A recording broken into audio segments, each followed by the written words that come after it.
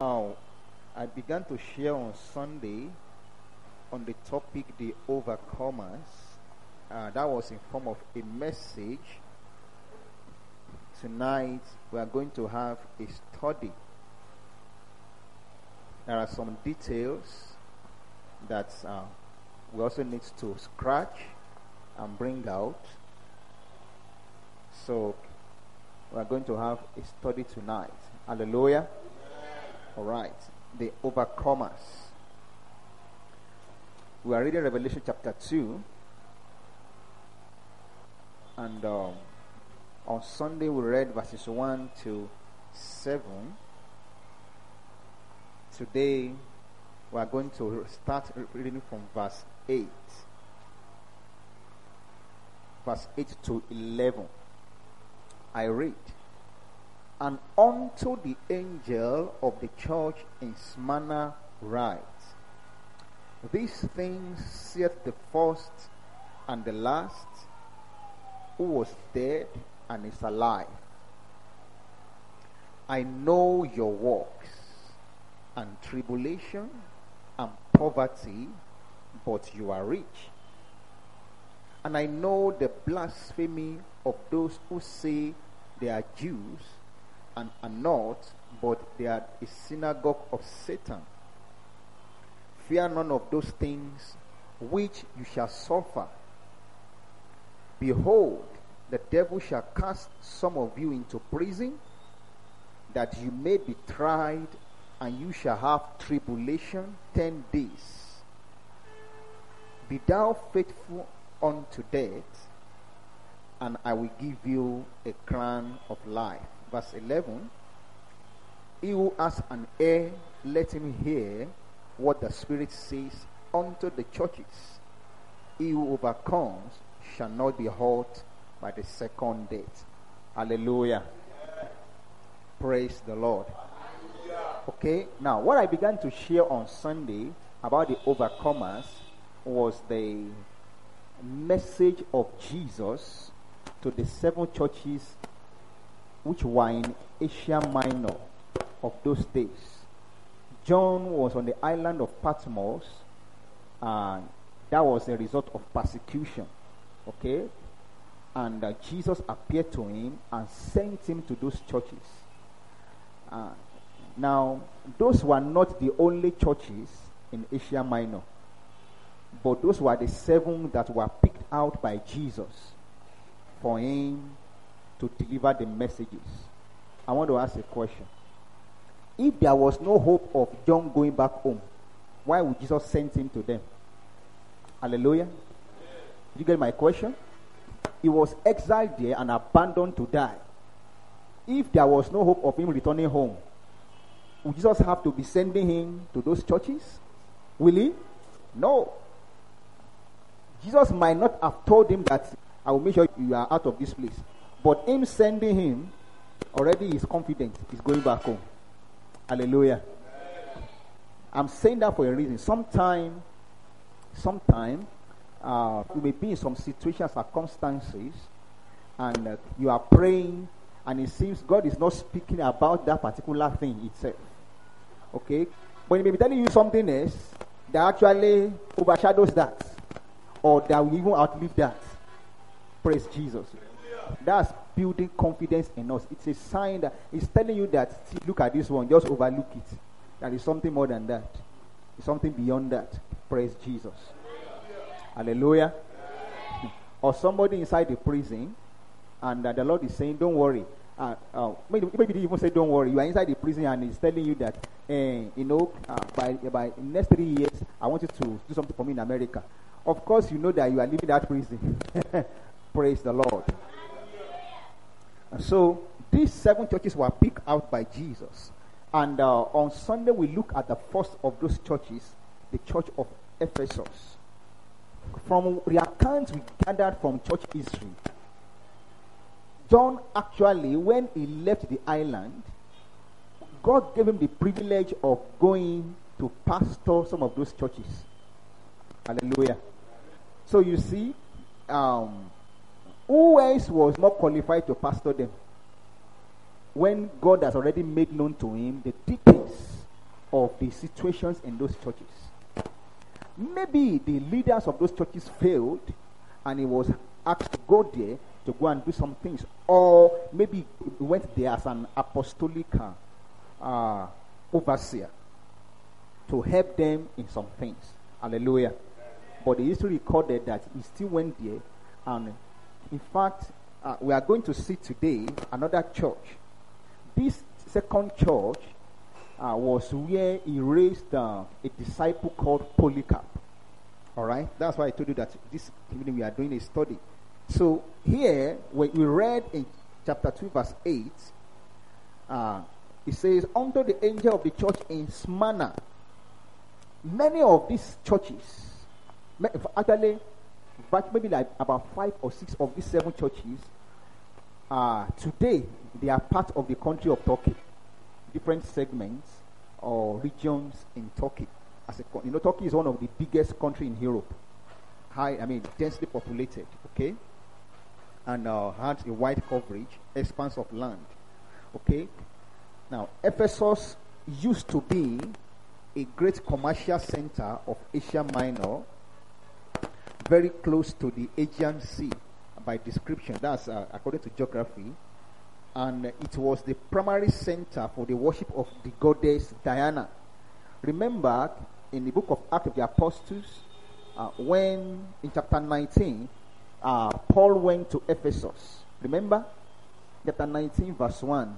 Bible said that uh, he came to Ephesus and saw some disciples and asked them, Have you received the Holy Spirit since you believed? And they said, We have not even heard that there's any Holy Spirit. Could it be that some people also are believers today and uh, they have not really heard about the Holy Spirit? Not that they have not heard the name, but they have not really, really heard about the Holy Spirit. because there is difference between just hearing about the name of Holy Spirit and really heard about the Holy Spirit in the, sense, in the sense of is a person with power. Hallelujah. Praise Jesus. Okay? And so uh, the Bible said that there were 12 of them, and Paul ministered to them, and they received the Holy Spirit. And the Bible says they began to speak in tongue and prophesy. These disciples already were baptized according to the baptism of John. So they were either John's disciples or they were converted by Apollos. You know, Apollos also took the part of John the Baptist. All right, he was preaching, he was teaching uh, according to the baptism of John the Baptist also before Paul met him. Sorry, before uh, Aquila and Priscilla met him. And the Bible says they two came in, and when you read chapter 18, you will see all that. And they expanded, they taught him more, the way of uh, truth more uh, profoundly. Hallelujah. Okay? So now, after all the episode of Paul visiting them, and the revival broke out in Ephesus. The Bible said he was there for a long time. He was teaching, making more converts, discipling them, so much that the, the magicians, the witches and wizards, they began to bring their charm, and there, were, there was a great repentance in the town. Hallelujah. And it was awesome. Okay? But because of that, there were also commotion. Okay? There were commotions. Some people felt, no, this Paul is going too far. He's preaching that uh, Diana, who is our god or goddess, is not a god. So they gathered themselves together and began to, you know, they gang, gang up against uh, Paul, and uh, that resulted in uh, some commotions. They began to shout, Grace is Diana, the God of the Ephesians. Grace is Diana. If you read Acts, you see all that there, all those things accounts there.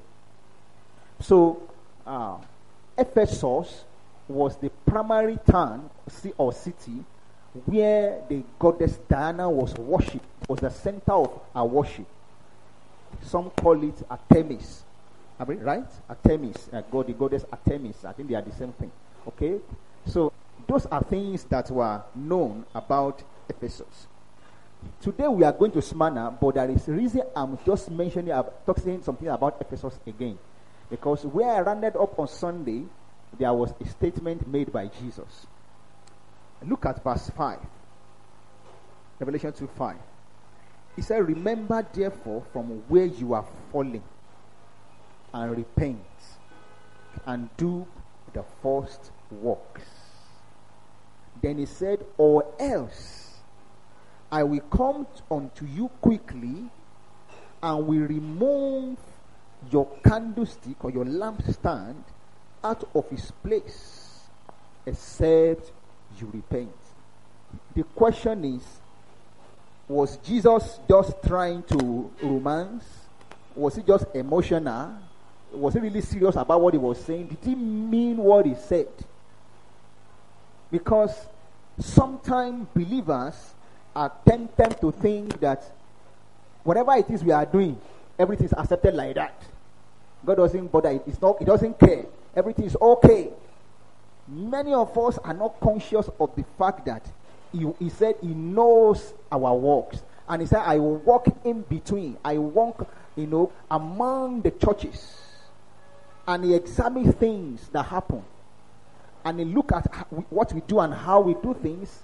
And he also sees beyond the physical. Like i was saying sunday he also sees into our hearts and know our motives. He said remember where you are falling from. All these studies we are doing all the learning teachings and all that we do we hear the word we do all this. They are not for jokes brothers and sisters whatever it is, when we sit down and we hear the word of God, we are already saying, now God examine me based on the things I've heard. Oh, yes. It's like a student in school. Nobody is going to ask you something somewhere from afar. They will ask you based on the things you have been taught. They have a syllabus for you. The same way it is. Sometimes we, we forget that there is a demand. That's why Jesus talked about some people are foolish, some people are wise. Those who hear and do it, those who hear and refuse to do it. Is the word of God changing us? Can you hear what Jesus says concerning the Ephesians? The epistle, epistle to the uh, Ephesians, scholars say is one of the most spiritual uh, book in the Bible. Read the epistles to the, I mean, Ephesians again. You will see. You will see the great things in that place. That was where he talked about praying for their eyes of understanding to be enlightened. He talked about being strengthened with might. Talk about being rooted in love, grounded in love, the depth, the height, the you know all those dimensions. Talk about God is able to do exceeding abundantly above all that we ask. Also talk about uh, spiritual warfare. I mean all kind of things, all manner of things. So they were fervent disciples or believers. Okay, but some things went wrong that's why they were told that they are falling and they should examine themselves. Then he said, If you don't, he said, I will come unto you quickly and will remove your lampstand. Now, I'm referring to that for a reason.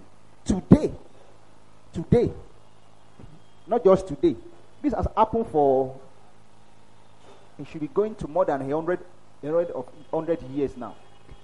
The, that place where Ephesus was, that particular site, today is just ruins. Um, there is, it said that there is a small town there filled with people with no single Christian. The lampstand is removed. So Jesus does not make jokes. Imagine him coming to speak to John like this on the highland, no, he meant business. Because we may just read it and just pass and say, okay, this is what God said about them and all that. He said, What I say unto one, I say unto all. The same is true for us today. He said, We should watch. We should always examine our love for Him and our works. Okay? He said, Repent and do the first works don't let me come and remove the lampstand. Um, that doesn't mean that God has sent them to hell. That's not the point. All right? Because Christianity, like I always told you, is more than heaven and hell. You know, many times we always, when people are so simple hearted that they think Christianity is either you just go to heaven and go to hell, there is more to it than that. There are a lot of other things inside Christianity. Otherwise, He will have saved us and taken us to heaven immediately. If He has allowed us to live on earth, there are, there are a lot of consequences. There are rewards and there are consequences to our action and inactions. Hallelujah. Pray. That's why he even talk about reward after after this. Okay? So imagine imagine that we are destined to attain some some height or have some reward, but we are not able to attain and re- receive the reward. Now, the, the reward was, uh, that's verse 7, right? Check verse 7 for me. He said, Whoever has an ear, let him hear what the Spirit says to the churches. To him overcome, I will give to eat of the tree of life. That's a reward. Hallelujah. Praise Jesus. Now, this Smyrna, this town is also uh, in the region of Turkey of today, and uh, the name uh, is uh, a region or a city that is called Izmir. I Z M I R, is Izm, or maybe or some way they pronounce it. Okay, and it is said to be 50 miles northwest of Ephesus, and then close to Pergamos. So it's around the same vicinity, also in the Aegean coast. This is uh, the home of Polycarp, one of the church fathers uh, after the first set of apostles. He was the bishop of Smyrna. This man served God so uh, so much, he loved God so much, and he made so many converts. Concerning him, it was said that he became very old. You know, after John finally died as a very as a very old man, he uh, succeeded John, the apostle, and uh, at 86 year old, he was taken, was arrested, and he was told to deny Jesus uh, not just to deny Jesus, but you know there was a problem during the time of uh, these apostles and those uh, those in the first century, first and second century. The Roman Empire they will build a statue of Caesar and ask people to bow and worship it. So it's more than just saying, "Say I don't, I'm not serving Jesus again." They were forced to worship, bow to the idol of Caesar, to the statue of Caesar they were asked to kiss his feet of a statue. It was that serious. And if you refuse to do it, they might kill you or punish you or imprison you. So they told Polycarp to do that, to worship Caesar. He said, I can never worship any man or any statue but Jesus. He said, Are you not going to deny Jesus? He said, He has been so good and faithful to me for these past 86 years. It's too late for me to deny him. Light your fire. And they tied him to the tree and they burnt him to death. Hallelujah. Praise Jesus. I, I, need to, I need to say that for a reason so that you will see some things that we have read about Smyrna. Okay? Now in verse 9, Jesus says concerning them, I know. Okay, in verse 8, the last statement in verse 8, he said, The one who was dead and is alive. The reason for that statement was because, you know, uh, when you read any, oh, each of these churches, the introduction has something to do with that particular church. And then the reward. Very, very specific and peculiar to each of the churches. Uh, this church uh, had gone through a lot of persecution. Many of them were being killed. So when he said the one who was dead and is alive, he's telling them that, see, even though you die, you will live again. That's why he was saying that. Hallelujah. Some years back, okay, let me just share this with you. Uh, I was still a student on campus. I wanted to understand the book of Revelation. So I began to do fasting and prayer. I was fasting and praying, Lord, I want to understand. That was when I learned some, many of these things. I saw that each introduction to each of the churches has a significant message also about what is happening in that church that time. So he said in verse 9, I know thy works and your tribulation. First, I explained to you on Sunday about the matter of the works. Our works has to do with all that we are doing. Whether the things we do for the Lord, uh, maybe in church generally, or just for the Lord generally, or what we do also uh, as a profession, as a career, because we are meant to also do it as unto the Lord also. Hallelujah. If you are a businessman, you're supposed to do your business as unto the Lord. So he said, I know your works, everything you do. Even, even how I make decisions. He says, I know everything about you. Um, I read for you to you on Sunday, Matthew chapter 6. I won't read that again. Just want to talk about how you give your alms you know, charitable deeds, your kind uh, uh, gestures. Then verses 5 and 6 talk about your prayer. So prayer is a kind of work too. You know, I said it in person on Sunday. Let me say it to you again. He knows your work. And there is a reward for it. Give me that Matthew chapter, chapter 6. Uh, you know, as a form of encouragement to you. Chapter 6, verses 5 and 6. Okay? Verse 5 first. He said, When you pray, don't be like hypocrites. They love to pray standing in synagogue in the corner of the street that they may be seen of men. These are not my focus. Verily I say to you, they have their reward. Verse 6. Here's where I'm going. He said, When you pray, enter your closet. When you have shut your door, pray to your father who is in secret. Your father who is in secret shall reward you openly. When you pray for the saints, you are walking. Your father will reward you. That is the truth. There is a reward for it. He said, I know you. Don't ever think you are laboring in vain. Don't ever think it doesn't amount to anything. Anytime you get on your knees and pray for the work of God, for the church, for the saints, even for God's servant, like Paul said, and for me, God sees and He will reward you. There is a reward. Great reward. Hallelujah. And if you don't pray also, stop.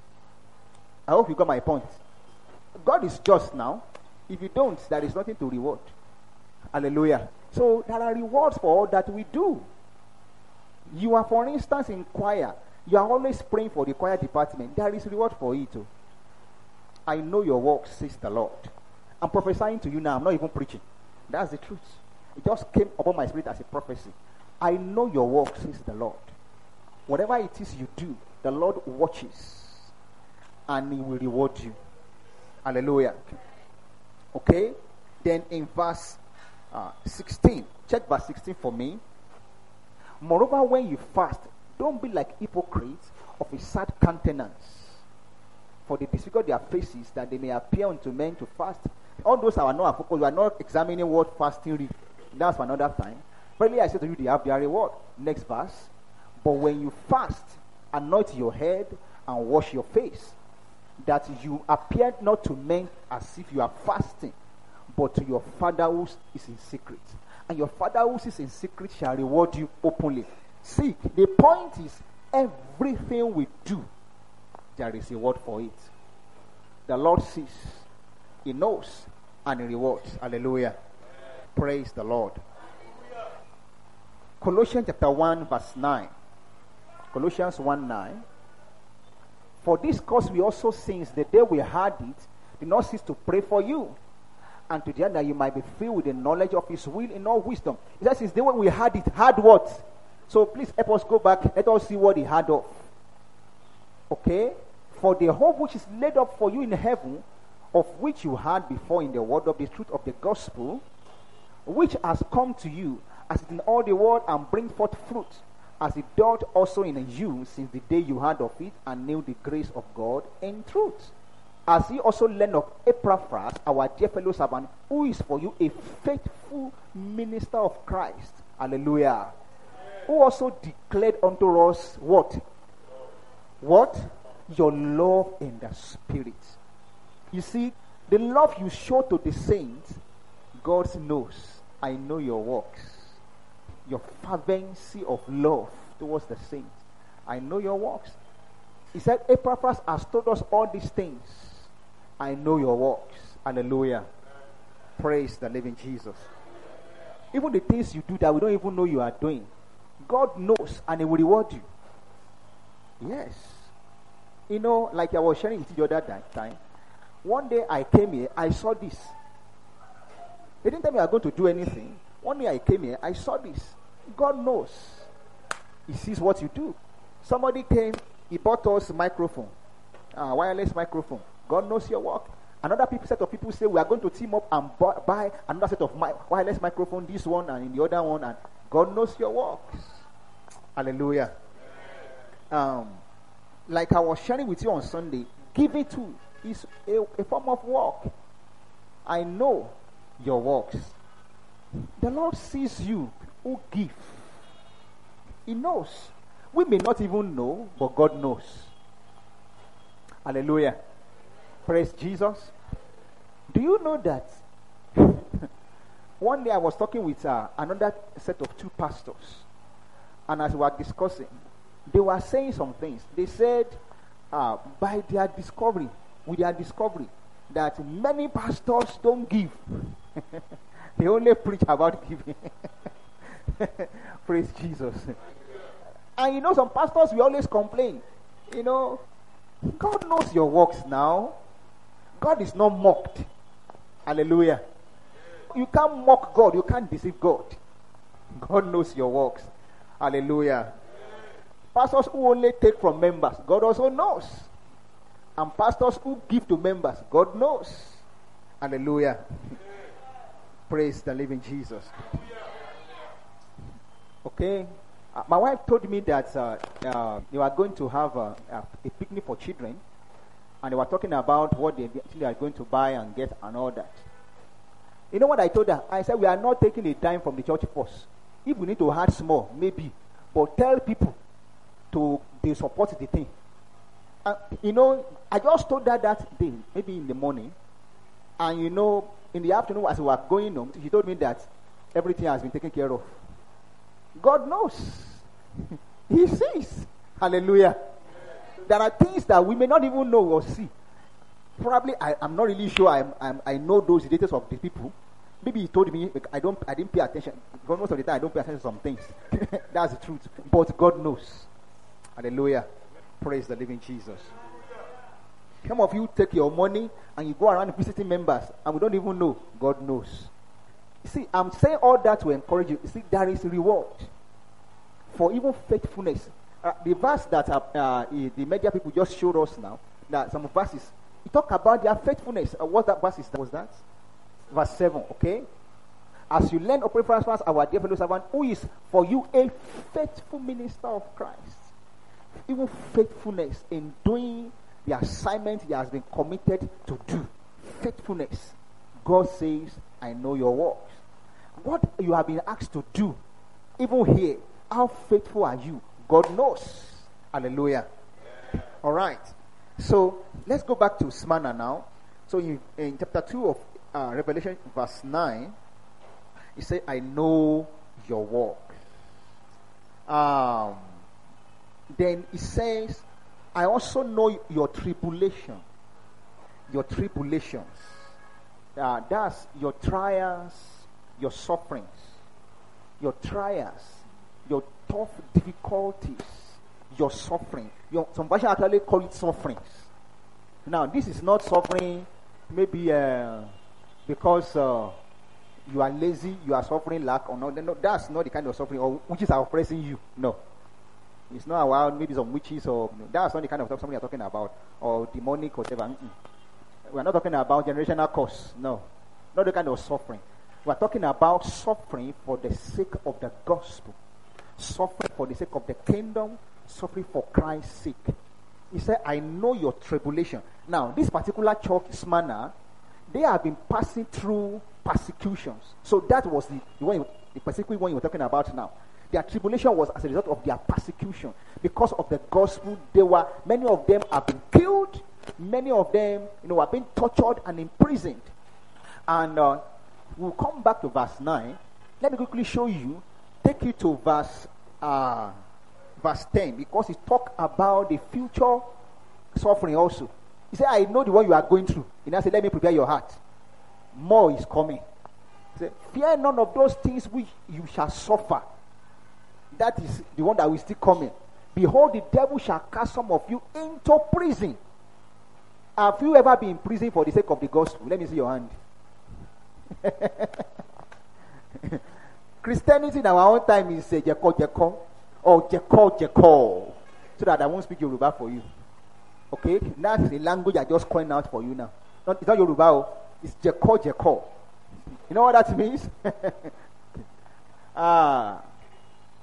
Many times, many of the things we complain about, they are nothing compared to the things that these people have gone through. Okay? I want to ask you, how many of you are being failed by your lecturer because of the gospel? Because you because you're a child of God? Let me see your hand. Can you imagine? No hand. How many of you have been beaten because you preached to somebody about Jesus and they beat you. May I see your hand? Hallelujah. okay, uh, I'm coming to that. And let's let's come for the big one and come to the smaller ones and keep seeing whether we have really gone through anything at all for the gospel. Maybe all you have gone through is just for yourself, not for Jesus. Have you really gone through stuff for Jesus? How many of you have been insulted and abused because you preach the gospel? One, two. At least I can see a few hands. Not just that they said, No, we don't want to hear you. They actually abuse you, they call you names. Hallelujah. Hallelujah. Because you stand for Jesus. Sometimes it might not be because you preach you, but because you take a standard. No, this is what the Bible says. No, this is what just will have me do. I won't. Hallelujah. How many of you have been stoned? Uh, you don't go to mission field now. Hallelujah. Or maybe you go to the other places where they will easily accept you. There are some ah Jesus. Hmm. Hallelujah. Hallelujah. How many of you they spit on your face? They do the thing like this, saliva from your um, pow on your face. For the sake of Christ, let me see your hand. You see, people have gone through stuff for Jesus. For Jesus. My wife knows this because I've told her before. They've done that to me. They beat me very well. Kick me, spat on my face. Hallelujah. and I just, when they left me there, some people encouraged me to go and report them. I said, no, I won't.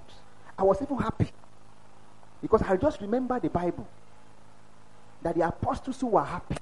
Show me, please give us Acts chapter 5. Um, some things that follow the antecedents of the. Uh, we all love. Now, Acts chapter 3, verse 5, 6, 7. We love that scripture. Peter said, Ah, silver and gold I have none. But what I have, I give you. In the name of Jesus, rise up and walk. We love that verse 7, right? Hallelujah. And verse 6. And then verse 7 he said, I took him by the right hand, lifted him up, and he was jumping. We love that. Some things followed it, and they were not on that table. Not because they stole, or they lied, or they cheated, or they did any wrong thing, but because of this. Because of this. Have you been called names and abused and insulted and backbited and all kind of just because you believe the truth of the gospel and you held on to it. Do you know what I face for talking about speaking in tongues? You think it's that's ordinary. You don't understand. Or talking about the gospel that is all about Jesus. For talking about the New Testament that Christ has delivered from, from, the, from the law, from legalism. Hallelujah. They arrested them, imprisoned them. The Lord delivered them from prison supernaturally. They arrested them again. And they said, Don't talk about Jesus again, no. He said, Okay. He said, But we can't do about without talking about Jesus. Oh. So because of that, they went again, they were preaching, they took them again, arrested them. So in chapter 5, and because of miracles, a lot of miracles were happening. All kind of miracles. In fact, chapter 5, we read verse 12. It's awesome. He said, And by the hands of the apostles were many signs and wonders wrought among the people. Ha! Now, this is bracket, this parenthesis. Jump to the end of the parenthesis. Maybe that's verse 14. In so much that they brought forth the sick into the street and laid them on beds and couches that at the least shadow of Peter passing by might overshadow some of them. Hallelujah. Verse 16. And there came multitude of the cities round about Jerusalem, bringing sick folks and those who were vexed with unclean spirit, and they were healed everyone. Great things happened. Hallelujah. Go to verse 40. Just to save my time. And when they had called the apostle, they beat them. Because of all these things, they I, I just saved you time so that I don't have to read. They arrested them, put them in prison and all that. They beat them. Now that agreed is because Gamaliel told them that please, people are going too far. Oh. They said, okay, we're not going to fight again. But they now took them instead of prison again. They beat them and they commanded them that they should not speak in the name of Jesus and let them go. And they departed from the presence of the council, rejoicing that they were counted worthy to suffer shame for his name. So that day I remember that too, and I was happy. Verse 42. Did they stop? And daily in the temple and in every house, they were even going from house to, they ceased not to teach and preach Jesus Christ. So Jesus said, I know your works and your tribulation, your suffering and persecution. Then he said, Please prepare your heart. More persecution is still on the way for you. He said, Fear none of those things that you are going to suffer. Behold, the devil will cast some of you into prison that you may be tried. You see, these things are to try us. They are to they are to strengthen our faith. And they are to make us stronger and better. Hallelujah. He said that you may be tried and you shall have tribulation 10 days. Then he said, What? Be thou faithful. Even if it means you are going to die. Our mindset usually is that I know God will deliver me because I'm serving Him. Because it's for, for the sake of the kingdom. I know He will deliver me. He said sometimes you may need to die in the process. And I'm telling you the truth.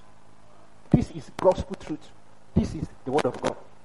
Sometimes persecution for the sake of the kingdom leads to death. We are not praying that anybody should die. But you see, when we don't take believers to prepare, they think it's all about. So by the time they are now in some situation, they will say, ah, ah so is God no more faithful? They will think God is no more faithful if you don't teach them right. That's why I always want to teach you the holistic word, the whole word of God, so that you would have a balanced understanding of what the gospel is about. Paul says he has delivered us, he's delivering us, and he will yet deliver us. Hallelujah. But you know, the three people said that our God is able to deliver us. That's not it's not a question of his ability. He said we know he's able. He has that. But even if not, please note that we're not going to bow. Hallelujah.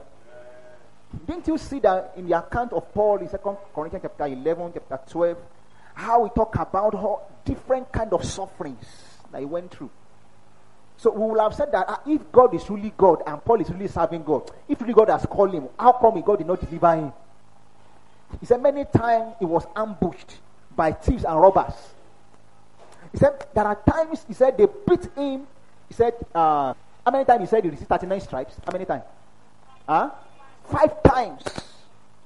I think five different occasions. They beat him five, uh, 39 stripes. Then he said one time I was beaten with a rod not stripes. Oh, Jesus.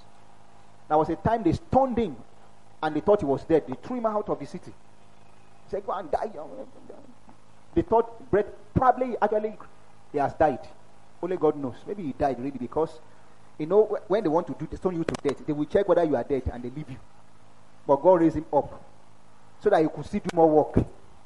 Hallelujah. Praise Jesus.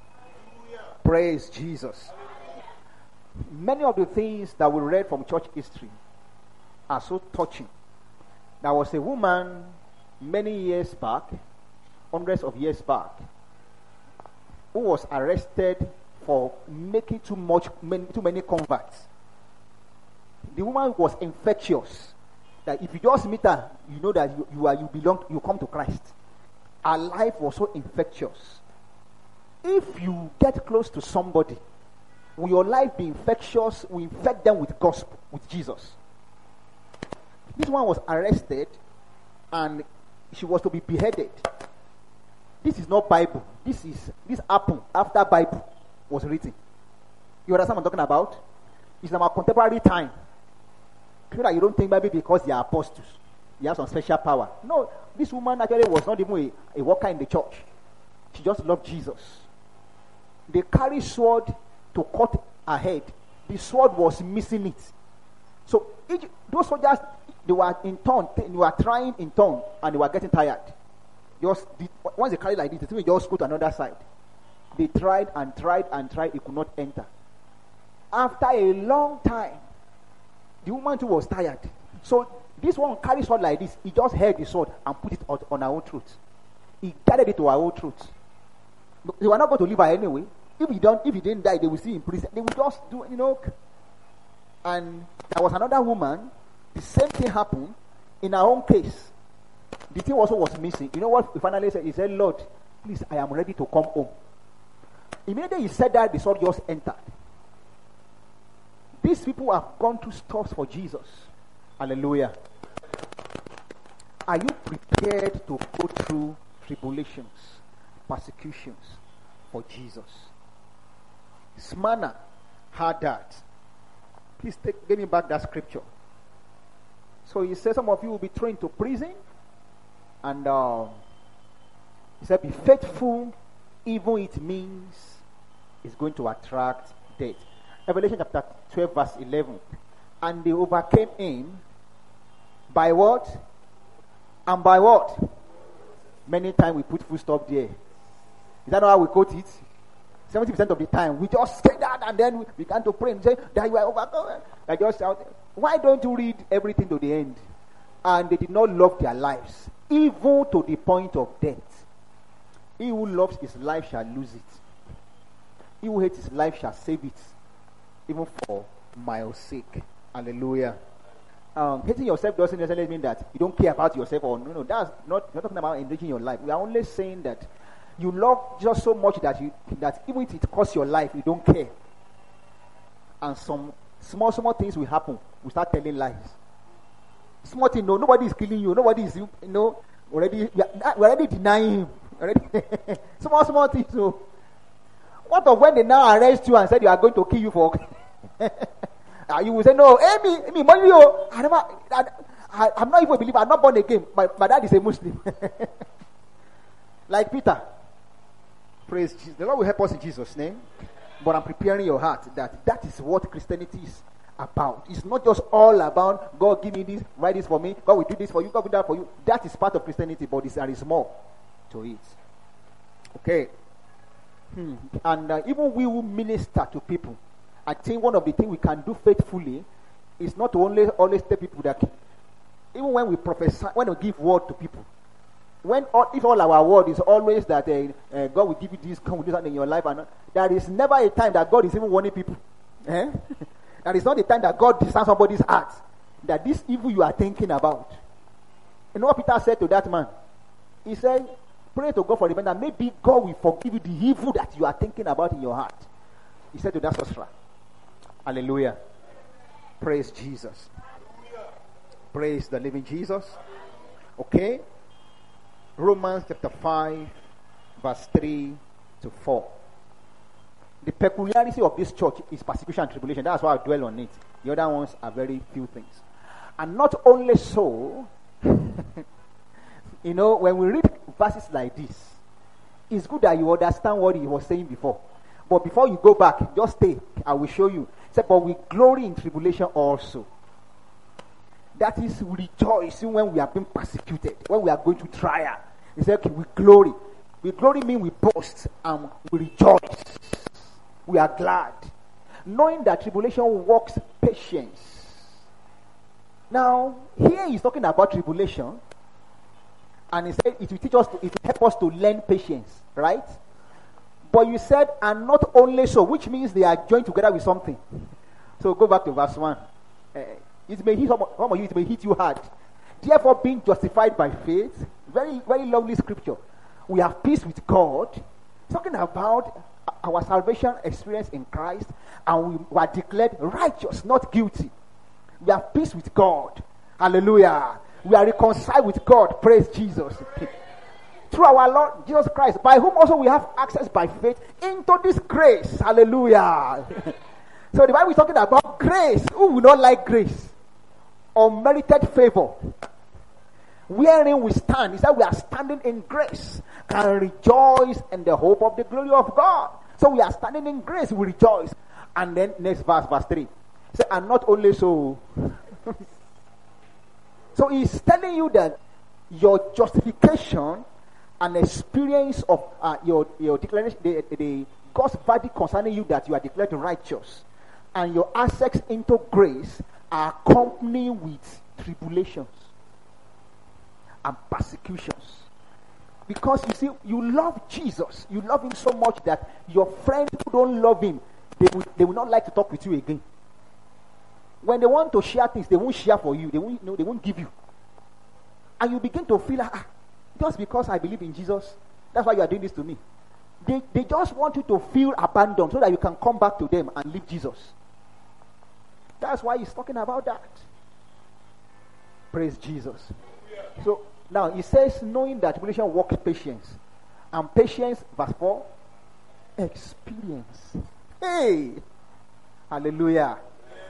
You see, the reason Jesus was telling the, uh, the church of Smyrna about persecution and tribulation is because they will become patient. They will learn how to be patient, how to tolerate things. They will be, have a large heart. They will learn to endure things. See, when things happen like that, we will become mature. That's what James 1 say, saying, but don't go there yet. All right? He said, you, you learn, you now become, you learn what? Experience. Now you are, when somebody is experienced, we are saying is mature. Yes, he has exposed a lot of things. So his balance is stable. Nothing can ruffle him. He has seen both the positive and negative side. Paul said, I've learned both to abound and to be abased. I've learned to enjoy plenty and I left to enjoy scarcity. He said, I'm not ruffled. When I have, I don't mind. When I don't have, no problem. Nobody will know. Experience. It does not show on your face. Everybody else, hey, sorry, oh, hey, yeah, you are going through stuff, hey, sorry, oh. No, not like that. Someone that if they don't tell you anything, you can't know anything. Hallelujah. Experience. There is one version, I think it's the New King James version. He said, he said, patience or endurance will produce character. I don't know whether you can find that for us, but I think I've seen. Yes, he said you will learn perseverance, which will produce what character. You have a strong character. You are stable. you are balanced. Hallelujah. Not because things are not happening or, or going on in your life, but now you are. And you know, when they say character, I learned something from my, my small room many years back. I love my story a lot too. That man, I love him a lot. He said, Do you know why they call it character? I want to ask you a question. You know, we have uh, alphabets, numbers, another special character. All of them are called characters in computing. Okay? Like and, comma, you know, full stop and all that. Okay. Let's take uh, two for instance. That's a character. It's a numeric character. Two, for instance. Two in Nigeria. Is it also equal to two in China? In India? In Indonesia? in Brazil? So two is two anywhere in the world. Even in the Bible too. In heaven and hell. He said it is called character because it does not change. It is stable. It's predictable. Predictable. People will say, "Now, no, I know him. I know. him. If it's if anybody want to cheat, I know him. He, he won't cheat. I know him. Character. He said it is tribulation that fashions us. It's not see God's word normally trains us. Okay, but God does not only train us with the word, the word of God. He also exposes us to a lot of things, situations, so that we become trained, and then we have strong. You know when people say you have strong character, stable. Hallelujah. Praise Jesus. Okay, let's move on. Let's so that we can round up now. I don't know if anybody will have a question, so I want to. I don't want to uh, exceed our time for this evening. Okay. Then next, in that our verse nine, our text, Revelation chapter two, verse nine. I have more scripture that I will have read to you, but it will take me time. Okay. You can go and study for yourself. Let me give it to you so that you can write it down. Second Thessalonians chapter 1 from verse 3 to 9. You will see that actually tribulation and persecution is part of our Christian life. Okay, let's make progress now. Ah, I said, don't go there, sir. Okay, Revelation chapter 2, verse 9. So he said, I know your works, tribulation. The next thing is what? Poverty. this one is very funny. I know your poverty. but you see, you quickly put something, except what you are rich. So that you understand what he's talking about. He's saying, though you are poor in the natural, you are rich in the Lord. Only somebody said hallelujah. hallelujah. You are rich in the Lord. and you didn't say it before because you didn't like that. Ah, no, I want money. Oh. Me, I want money. Oh all this one that you are just you are rich in the Lord, rich in the spirit. you know, especially when I'm, when I'm teaching, I'm teaching youth. I, I normally see a lot of things when I'm talking to young people, teenagers, you know, and youth. One day I was teaching them about success. I was talking about hard work, diligence, and all that. Ah, one guy said, Excuse me, sir, all this one you are saying is too long now. How many years? Ah, me, I want to be rich quick, quick. I want to be rich fast. I said, I No, I understand you'll be rich. Said, But it's a graduate. Say, Ah, all this one you are still graduating, I, I don't want all that one. I want to be rich as fast as possible, as quick as possible. Said, There is no shortcut. He said, I have, no, I've learned a lot of shortcuts. I'm just still thinking of which one to take. He, he, was telling me in the presence of all the other people too. I said, So which one are you going to? He said, Well, I have, there are options. He said, There is Yahoo, Yahoo, Yahoo. He said, There is Yahoo Plus, there is Yahoo Plus Plus. Ah. I said, uh, You know, that's many years ago. I said, But these things are bad. Though. He said, Ah. Sir, he said, Is this is, is computer now? He said, It's computer. Hmm. Praise Jesus. He said, I know your poverty, but you are rich. Okay? Hmm. Second Corinthians chapter 8. Let's just see what verse 1, what Jesus was saying to that church. Paul also said the same thing about another church. Moreover, brethren, we do uh, give me a, maybe HCSB. This one is too serious. We do you to wheat of the. I mean, we do you to wheat of. The, we want you to know, uh-huh. hallelujah, brothers, about the grace of God granted to the churches of Macedonia. What grace is that? He said, during a severe testing by affliction, their abundance of joy and their deep poverty overflowed into the wealth of their generosity. What is Paul talking about? They don't have much.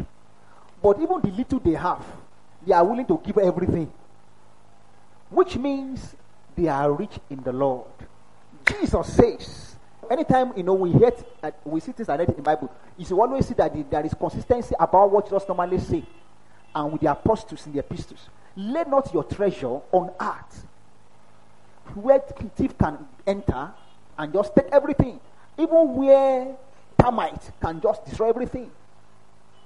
He said, But lay your treasure in heaven, where it cannot enter, they cannot rust, they cannot be devoured by ants or insects. Hallelujah. Praise Jesus. What he's saying is that being rich in the Lord, or rich towards the Lord, or rich in the Spirit, is that even though people may look at you that you don't really have, but even the little you have, you are giving for the sake of the gospel. You are giving. So these people, the, the believers in Smyrna, they are not only strong in character, they are not only facing persecution, they were always giving to support the work of God. They were givers. That's why he said, I know your works, that you are givers. You can give anything. I know. Ah. Thank you, Jesus. Thank you, Jesus a woman of God shared with us that in a church, and it's not in Lagos, it's not in Abuja, it's in Port Harcourt. So that you don't think there are all those places they have money. Money is everywhere. That's the truth. In this town, people have money. Oh. If you see some houses that they built in that, uh, um, that's towards our, that's towards Sango. You see some houses in that place. You wonder in this town, they build house as if you are building an estate, just one house a mansion so big, and just so many of them. So money is everywhere. If you are always saying that there's no money in Ilorin, that you won't have money. Because that's a wrong confession for a child of God to be saying. The devil just take hold of it and make sure you don't have access to money. That's why I always say it that there is money in this town, and I'm having money. Praise Jesus. okay. Uh, now he says, during a severe testing by affliction, the abundance of joy. They are joyful about it. So that woman of God said that the members of our church, they are so joyful about giving that some of them, he said, they will enter church Sunday morning, early in the morning when they enter church, they will find bale of clothes. Some people will bring their oven, bring fridge, bring uh, something. And people will go and buy keyboard, buy things, just buy everything and just put down. They won't even know them. Then they be wondering, who are the people doing this one now? Now, let me shock you. My discovery in these few years of doing ministry, I have discovered that those who give the most are those you think they don't, they don't even have. They give so sacrificially. Those who don't have much, they give so sacrificially. That was the reason God also was banking on a widow to take care of Elijah. God knew her heart. God knew she was a sacrificer. If there is an English like that, she could give anything. Somebody was about to eat the last meal and die, and yet still managed to give it. God knows her heart. Don't know her heart now. Hallelujah. So the Bible says that overflow into the wealth or the abundance of their generosity. They were joyful about. They did it joyfully. Not that they will give and say, ah, I gave, oh, I've been giving, oh, I've been giving, oh. That's why he said, don't, don't even let your left hand know what your right hand is doing. Dr. Nature told us some years back.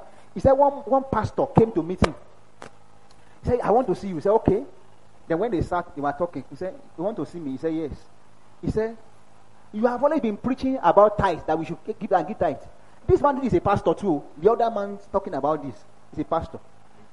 He said, I have been giving my paying my tithe. I have not seen anything. God has not given me anything back. So he said, he asked, uh, since when have you been doing this? He said, for the past two years I've been giving my tithe. He said, how much have you been giving? He said he calculated it. Everything has been given. Maybe I think maybe two thousand naira or so or something. You know, he's so people who complain are those who are so ridiculous. so he said, he said, sir, please can you calculate everything? He calculated it. And he went in and carried the money and gave him. And the man took it.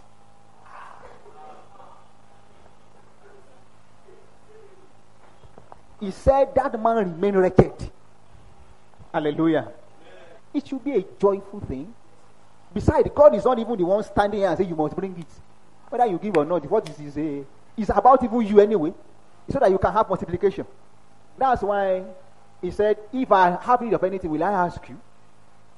God is not in need. Hallelujah. So he said, I know your poverty. Let's round up the, uh, our text. Revelation chapter 2, verse 9. So three things were mentioned works, tribulation, and poverty. He said, but you are rich. They are rich in the Lord.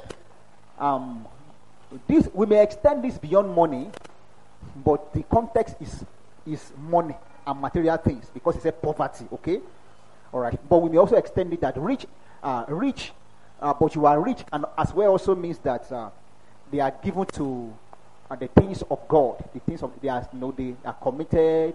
You know, they actually are hardworking in the house of God and all that. Okay. Then, then he also say, I know the blasphemy or the slander of those who say they are Jews, but they are not, but they are the synagogue of Satan. That is, some people, uh, is some sect of Jew, uh, Jewish people, among these people, and uh, they were always slandering these believers. They say things uh, against them. The Bible did not give us the details of what they were saying, but when you understand I told you that the Bible is always consistent the way it does. So when you look at, once you see the matter of Jews slandering some people, you understand what he's talking about. They were being legalistic. They were saying that you must keep the law, keep the law. That if you don't do that, you are not born again, you are not going to heaven. That's blasphemy. If you are saying, if I don't observe the law of Moses, I'm not born again, it is blasphemy. In fact, Paul's, well, some people say it's not Paul, oh, but I believe it's Paul who wrote Hebrews. The author of Hebrews said, You are insulting the blood by which you are washed. And you are doing it despite of the spirit of grace. You are saying that his sacrifice is not enough. Hallelujah. He said, I know those people. I see what they are doing. Then verse 10. Fear none of those things. Okay, I've read this. Okay, yes. Uh, we should suffer. Behold, the devil will cast some of you into prison that you may be tried and shall have tribulation 10 days.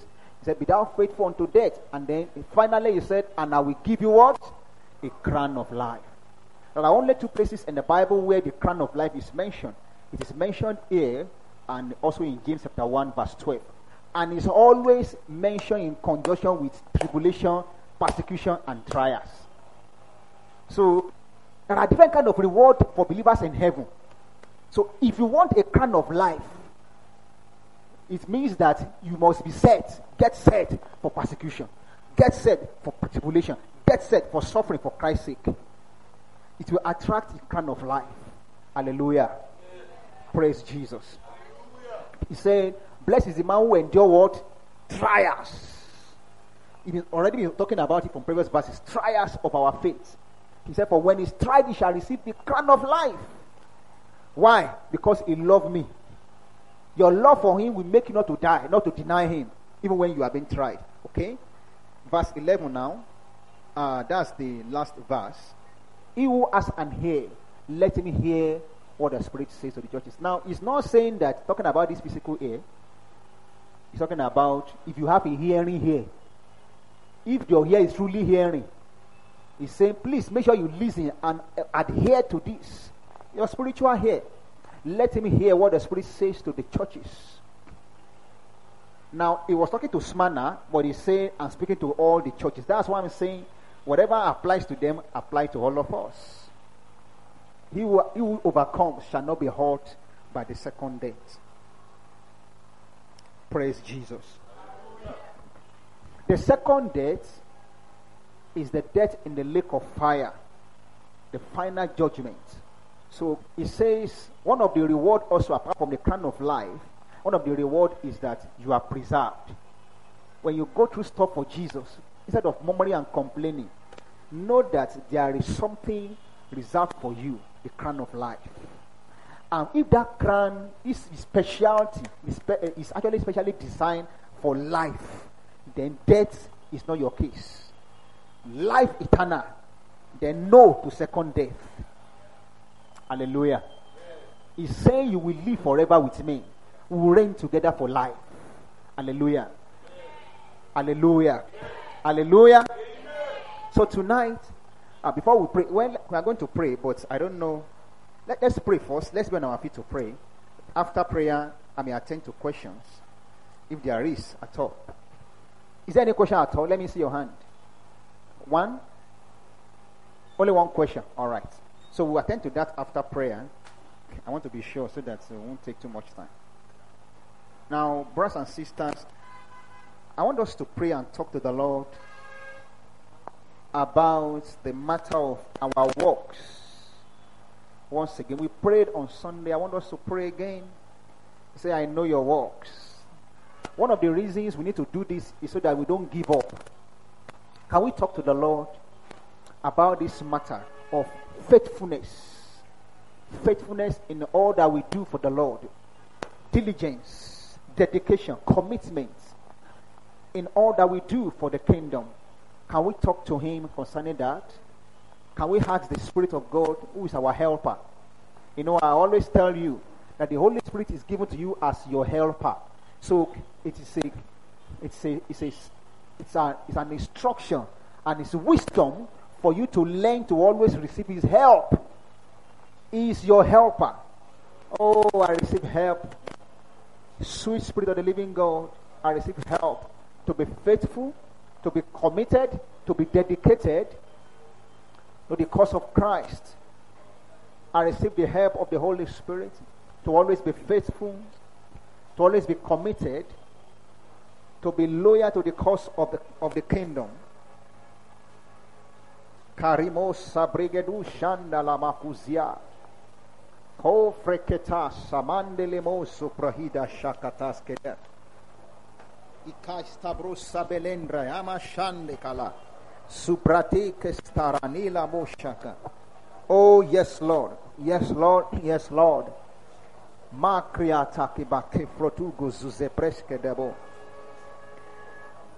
Our emphasis today has been on the matter of tribulation, persecution, suffering. Can you talk to the Lord concerning this matter? That you will be strong even when you are facing difficulty, when you are facing trials of life, when your faith is being tried. He said, Blessed is the man who endures trials, temptations so when he's tried, he will receive the crown of life. Can you, can you receive strength? Can you pray for strength to endure? to endure temptations, trials of life, persecutions, to endure afflictions for the sake of the kingdom.